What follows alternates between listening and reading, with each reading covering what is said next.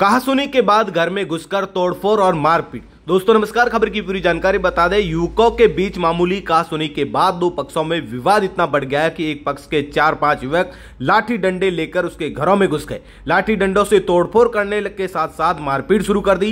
इस दौरान महिला के पैर में कांच की बोतल लग गई, उससे महिला घायल हो गई।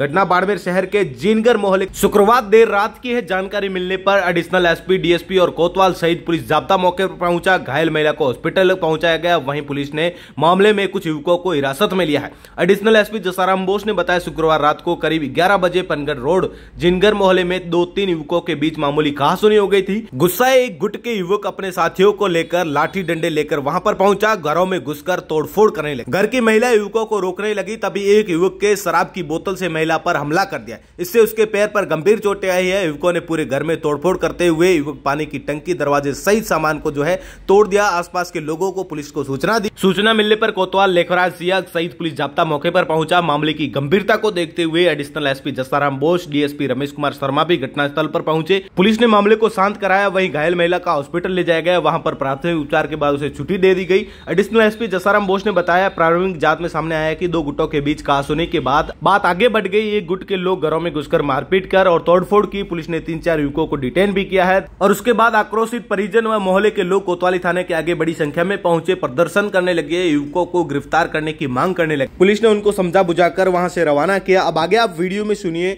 जो मोहल्ले वाले हैं उनका क्या कहना है? जुड़े रहे तमाम प्रकार के अपडेट के लिए द घटक के साथ। मैं आपका साथी जसवंत सिंह शिवकर। नाम भावना डाबी है और ये घटना जींदर मोहल्ले की है पनगढ़ रोड की। और हमारे गली के अंदर बहुत सारे हरिजन आके और घर के अंदर अटैक करके चले गए। वो भी बिना गलती के अंदर हमारे घर के अंदर घुस गए और सब चीज़ें तोड़ फोड़ के हमारे घर के अंदर आ गए। और सबके ऊपर बहुत ना मारपीट की है। और हम लोगों को अब सिक्योरिटी चाहिए गली के अंदर। गाड़ियाँ वगैरह सबको तोड़ दिया है कोई। मकान के दरवाजे ताला लगा हुआ है फिर भी है ना दरवाजे तोड़ दिए। ये कोई चीज़ है क्या? तो हम लोगों को अब सिक्योरिटी चाहिए बस। तो आज इतनी रात को सब यहाँ पे इकट्ठे होके आए फिर? वहाँ पे पुलिस मौके पर पहुँची या फिर? पुलिस तो मौके पे पहुँची है। जैसे ही मैंने फ़ोन किया वैसे ही पुलिस आई है। डीएसपी सर वगैरह सब आए हैं। बाहर मैंने जिन जिन को कॉल किया उन सबने बाहर कार्रवाई भी की है यहाँ पे।